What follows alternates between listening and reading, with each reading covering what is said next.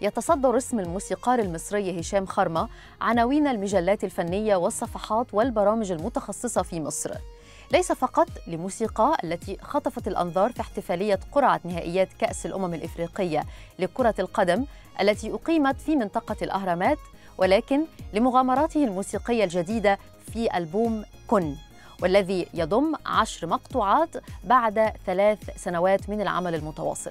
في هذه الفقرة نتعرف أكثر على هشام خرما الذي كان لي معه هذا اللقاء هشام أنت خريج computer science وعملت بيها فترة وانتقلت إلى مجال الإعلانات ثم التلحين والتأليف وحتى الإخراج وتعاونت مع أشكال مختلفة كتير من المطربين زي هاني عادل هاني الدقاق بشرى وائل الفشني وحتى الإنشاد الديني مع مصطفى عاطف وربابة مع أحمد منيب إذا من أنت؟ أه أنا شخص بحب الفن والإبداع بشكل عام وممكن أقول إن أنا ما بحبش فكرة إن أنا أحصر الفن والإبداع في في مجال معين. فممكن الرحلة الطويلة اللي حصلت لي إن أنا كنت كمبيوتر ساينس فده كان حبي مثلا في التكنولوجيا. بعدين دخلت في مجال الدعاية والإعلان والتسويق والإخراج. فإداني مساحة إن أنا أبص على الموضوع بشكل مختلف أو بزاوية أكبر. إلى طبعا إن أنا وصلت للموسيقى اللي هي ده بقى العشق الأساسي بتاعي. ف فاللي فات كله سهل عليا إن أنا لما مثلا الف مقطوعة أو أي عمل معين بنعمله ميوزك فيديو فكرة إن أنا أكون على المسرح مع الأوركسترا ما بقتش مجرد إن أنا بس مركز في المقطوعة كمقطوعة ببص لها كعمل متكامل. لازم يركز في كل تفاصيله من أول إخراج العمل. ده بيبان على المسرح. ده بيبان وواصل للناس واكتشفت إن أنا كنت في الأول فاكر إن أنا كل اللي أنا عملته ده مش عايز أقول تضييع وقت بس كنت اللي هو طب أنا مثلا قعدت 10 سنين بعمل حاجات تانية لأ كل ده طبعا يعني لما أقول من هو هشام هشام هو كل ده. لأ يعني هو واحد عاشق للإبداع. يعني ممكن أقول مبدع. بحب كلمة مبدع لأنها بتدي مساحة وأي أي عامة مبدع أو فنان بيحبش يعني من نوع أنا مثلا حتى شخص بزهق بسرعة فدي مساحة دايما بتديني إن أنا أجرب حاجات تنوع. مختلفة وأنوع ف هل عندك زي ما بيقال لمحة صوفية يعني موسيقاك دايما اللي عملتها مع مصطفى عاطف عبد الرحمن رشدي وائل الفشني هل فعلا عندك اللمحة دي ولا لأ بص هو أنا مش بحب أقول يعني إن أنا أصنف نفسي في شكل معين بس ممكن أقول إن أنا بحب فعلا الأعمال الصوفية أو الروحانية لأن هي لو هنتكلم على الموسيقى لوحدها من غير كلمات أو من غير أي ليركس بتتقال فيها هي في الآخر مقطوعة بتتواصل بيها مع الناس. فأنا أنا بالنسبة لي ده بيبقى فيه تواصل روحاني. يعني أنا لما حتى في الحفلة مثلا يجي الجمهور يجي بيسمع مقطوعة ما فيهاش كلام ما فيهاش رسالة معينة هو قاعد بيسمع الموسيقى بيترجمها بطريقته. طريقته فدي على حسب المتلقي. آه فدي فدي شايفها إن هي فيها لمحة روحانية أو صوفية. يمكن عملوا برضو إسقاط على فكرة أسماء الألبومات الخاصة بيك. أول اليقين ثم كن. ويمكن إحنا عندنا في الثقافة بتاعتنا كن فيكون. هل ده. فعلا ليه علاقة بال... بال... بال... بالصوفية أو باللمحات الروحانية اللي أنت بتتكلم عنها؟ لا هي هي ممكن يبقى طبعا في جزء من تفكير يعني عامة في المجال بس أنا في الألبومات بالذات آه، بحب إن أنا آه، آه، أحكي قصتي في الش- في الوضع الفلاني أو الشك... الوقت اللي هو يعني أنا عامل إزاي في الفترة دي أو بفكر إزاي تجاه الفن والموسيقى. وبحب إنها تبقى فكرة ممكن ناس كتير تتواصل معاها أو تفهمها فبالنسبة لي موضوع اليقين ده كان بيعكس فك فكرة آه، إن أنا بحب المزيكا بقالي كتير وكنت بتعامل معاها كهواية اليقين أنت عملتها تقريبا من 20 سنة صح المقطوعة اليقين آه اليقين دي ده. أنا دي مألفها من 20 إيه سنة اليقين تقريباً. اللي كان عندك من 20 سنة لا هو فكرة إن الواحد يعمل اللي هو بيحبه ويفضل يسعى ورا حلمه أو حاجة هو بيحبها ويبقى عنده يقين إن هو هيوصل لها ف... فدي كانت القصة إن عايز عايز أوصل دي... دي حسيت إن أنا فكرة إن أنا اشتغلت في كذا مجال وعشت في كذا دولة واشتغلت في مجالات مختلفة بس دايما الموسيقى كانت بتطاردني وعندي يقين إن أنا عايز أعمل بيها حاجة فيوم ما قررت ما كانش عندي حاجة ت... ت...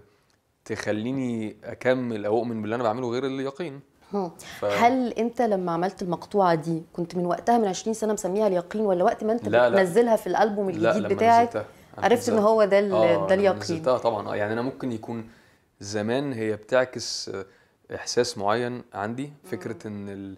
يعني هي المقطوعة حتى عجبني إن ناس كتير وصل لها الإحساس ده من غير ما أشرح لهم الموضوع. هي فكرة إن هي مقطوعة بتحكي قصة التحدي فيها إحساس تحدي إلى أن بيوصلك لأمل معين.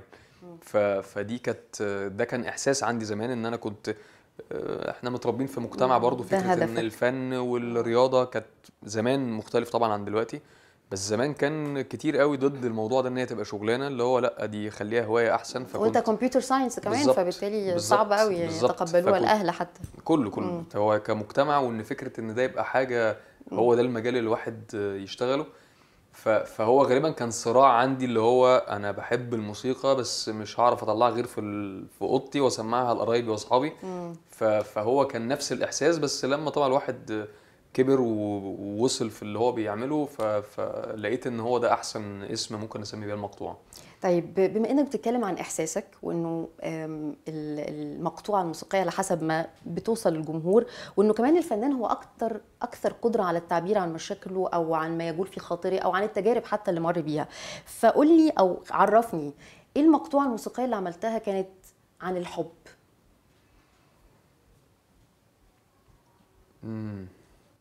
لا هو أنا سؤال صعب.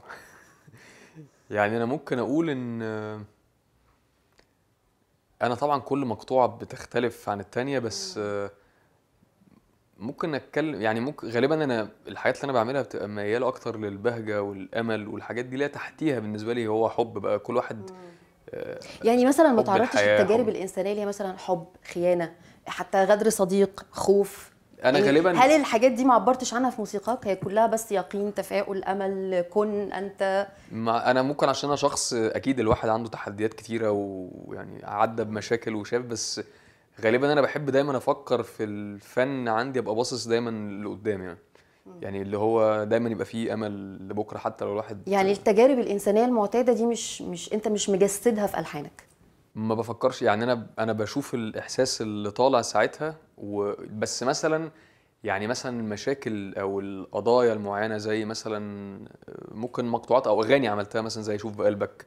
آه آه العمل اللي مثلا نتكلم فيه اللي هو مثلا مع الموسيقار عمر خيرت ده كان معمول لعمل مثلا برضو إنساني.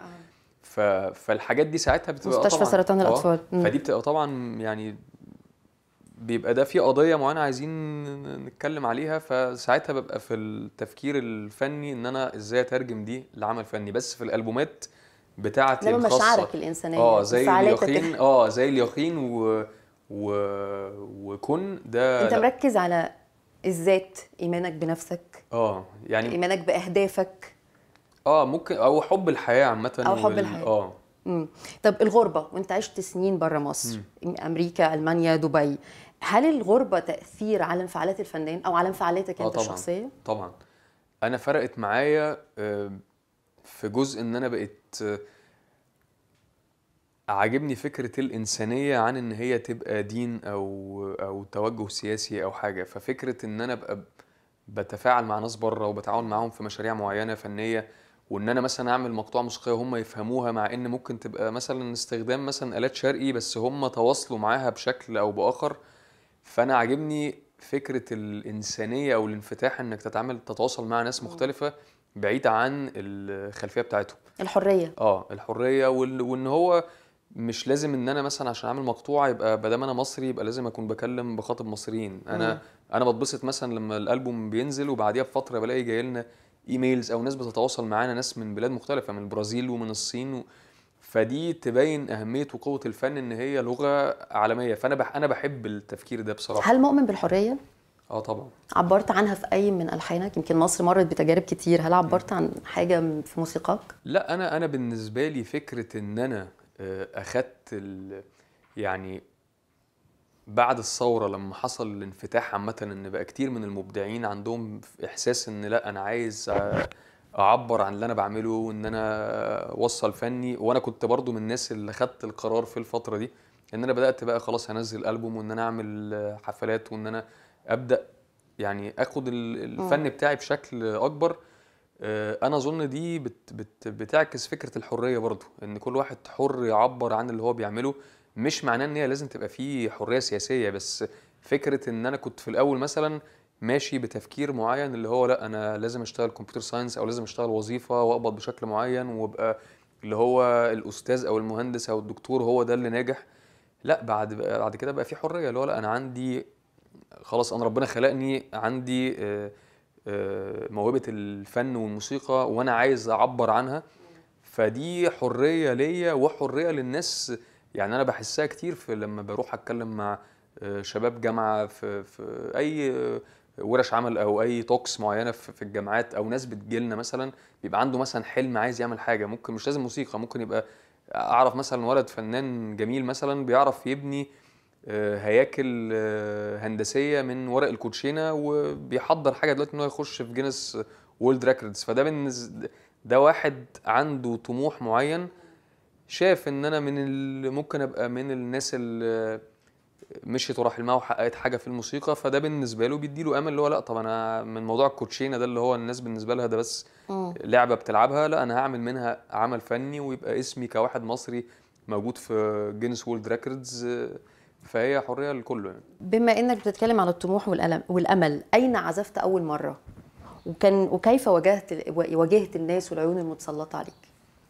آه، أول مرة كانت في أول حفلة يعني آه، إن أنا يعني مش هتكلم طبعا على حفلات الجماعية والحاجات دي بس بتكلم أول مرة اللي هو بعد أو قبل نزول الألبوم على طول ده كان في ساقية الصاوي وطبعا كانت معظمها يعني 80% منها معارف وأصدقاء ما وعائلات. كنتش قلقان يعني. لا أنا كنت خلاص أخدت القرار فهي يعني أنا كنت أنا كنت في دبي يوم ما خدت القرار إن أنا كنت كنت بشتغل في دبي كنت ماسك شركة من أكبر الشركات اليابانية في في العالم يعني في المجال الدعايه والإعلان. وكنت ماسك مكتب مصر ومكتب دبي.